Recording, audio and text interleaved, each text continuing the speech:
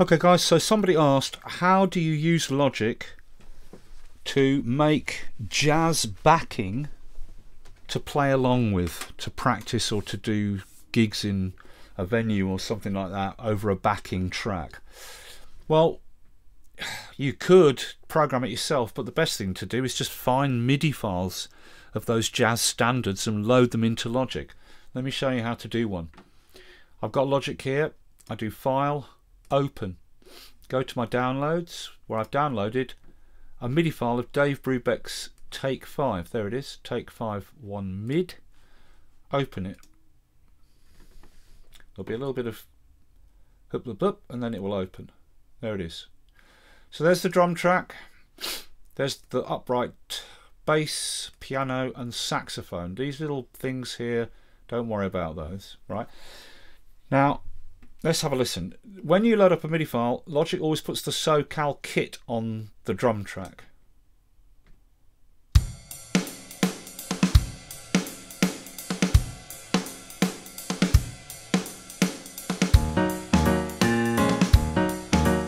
Okay, and, and the drums, you know, this SoCal kit is okay, but it's got no brushes. So let's switch it. Okay, so I select the track. Here's its channel. And there's the drum kit. Look, if I click on that, I open the drum kit. So instead of the drum kit, let's switch that instrument to the EXS sampler multi-out. Boom, like that. Okay. Now it'll still say SoCal kit because when we open the EXS sampler, it's still got the SoCal kit loaded in it. Now we're going to go here, and to do this you need all the Logic content downloaded, including the legacy content, right? Select here to change the sample set and choose drums and percussion, acoustic drum kits, whoop, acoustic drum kits. There's a jazz kit, but there's also a studio brush kit. I'm going to go with that one. Select it, boom. And I've loaded the studio brush kit. Let's have a listen now. Yeah, that's a bit more jazzy, right? But the only thing is, all the drums. Let's um, let's switch now to the mixer. Open it up to wider channels like that by clicking that icon.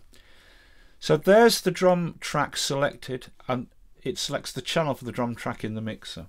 And at the top, there's the EXS sampler.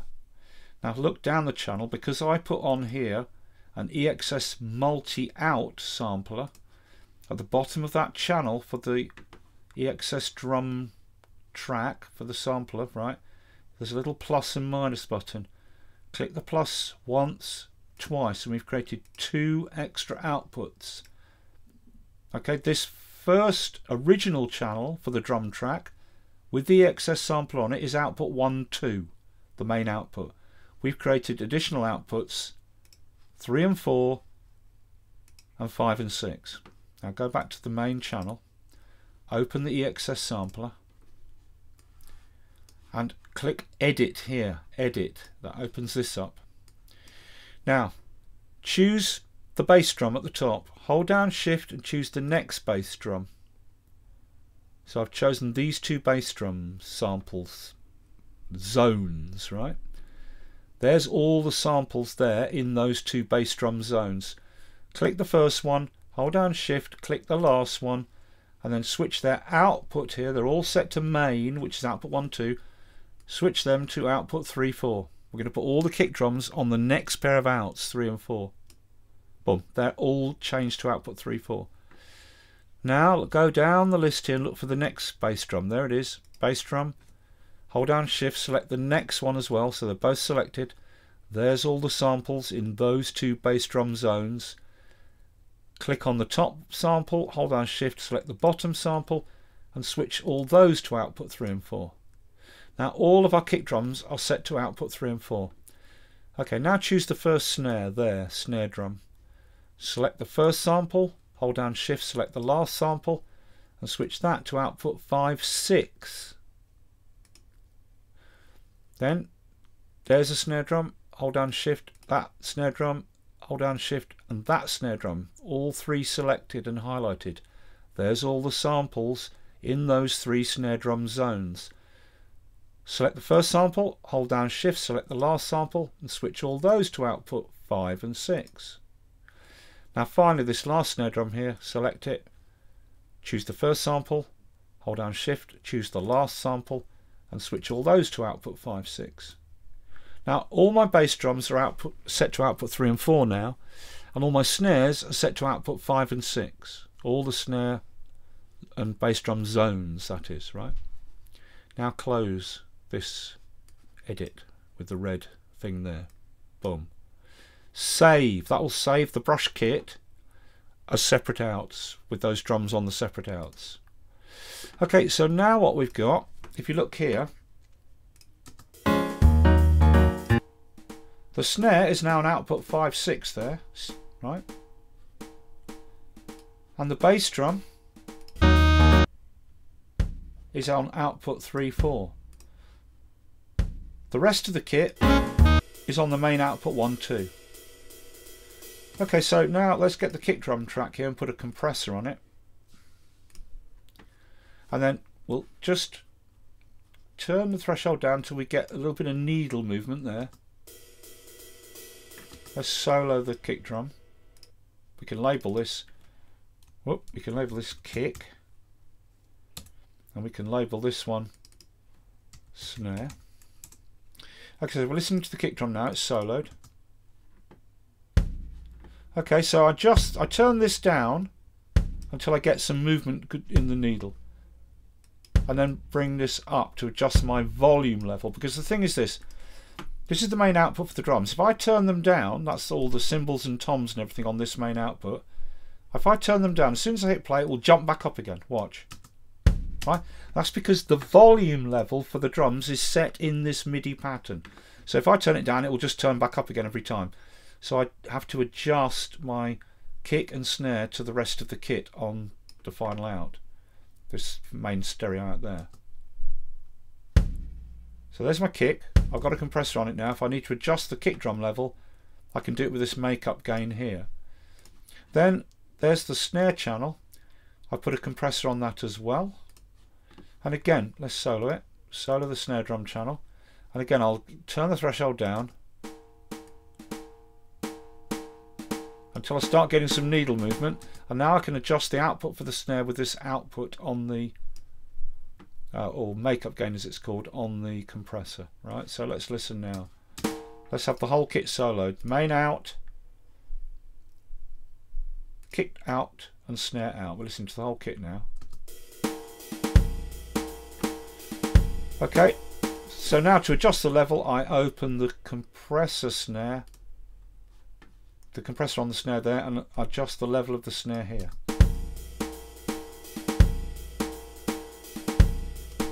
Then here is the kick drum. I open the compressor on the kick drum out and adjust the kick drum relative to the rest of the kit.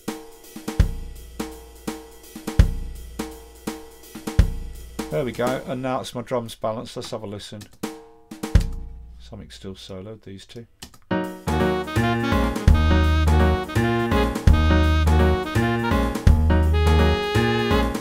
Okay, now again, I there's the piano channel there, right, for the piano track. I can't turn it down because as soon as I hit play, it'll jump back up. Because in this piano MIDI region, the volume is set. So it jumps to that level whenever it plays. So to adjust the level of the piano, I'll take that tape delay off. I'll open the compressor on that channel. I can turn the piano down here.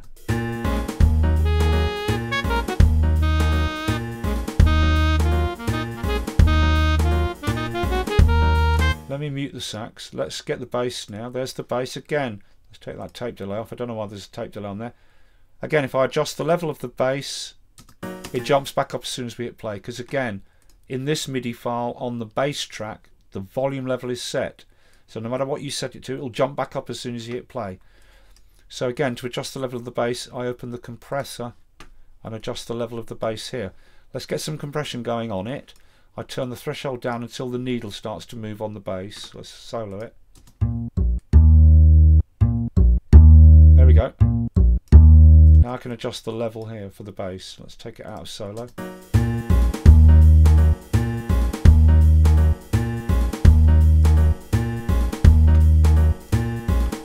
Okay, back to the piano. That's a little bit loud still. Open the compressor, turn it down a bit.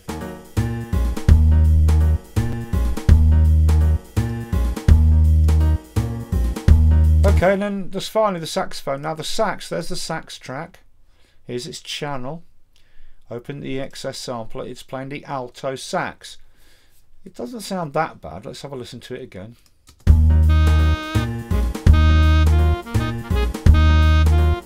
I, I think there's a better sax, which is here we go. Pop horns, soprano sax. Now it won't sound high up in soprano. Listen. That is more of a soprano-y sound, but it's in the same.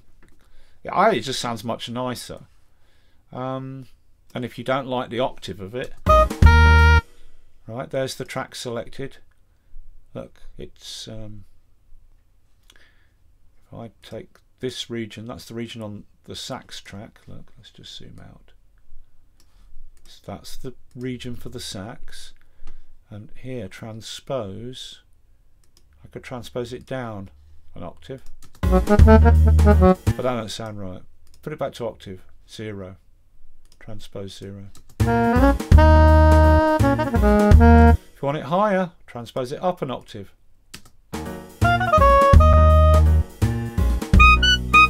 Too high, right? Let's bring it down an octave to zero.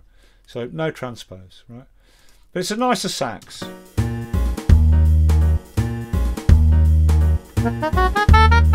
It's a bit more real.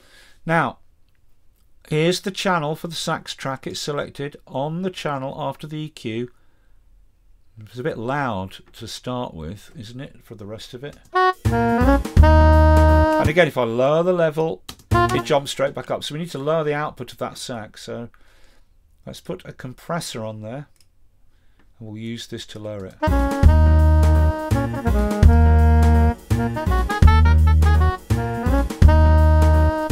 And then finally, let's have a bit of reverb on that. So on, there's again, this is the soprano sax channel, the, the sax channel. After the EQ and the compressor, I'm going to put another plug in I'm going to put a reverb space designer on there. Just out of the box. I'm not going to choose a preset just the preset it opens with.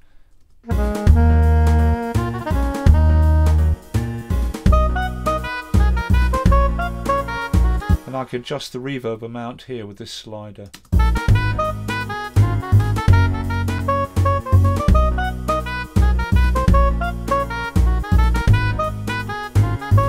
Bass is a bit loud, choose the bass track. Here's its channel selected, open the compressor, just turn that down a bit.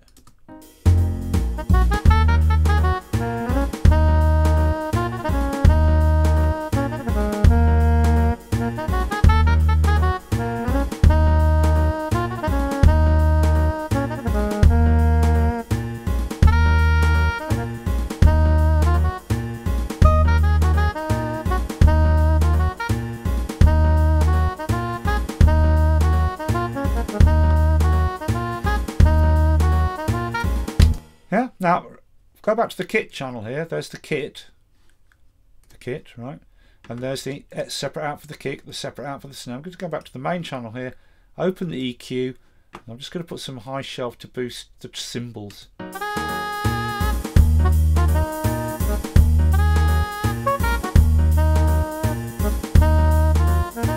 Yeah, just a bit nicer. A bit brighter the cymbals, right? There you go.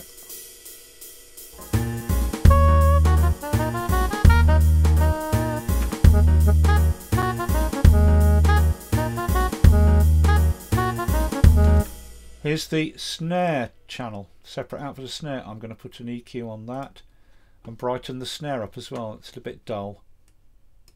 Bring that down. Nice, bright, fizzy snare.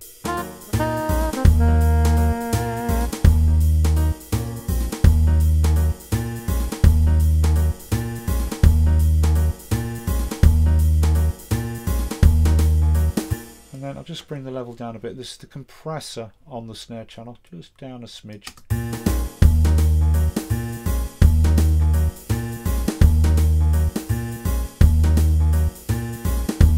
There you go. That's how you do that.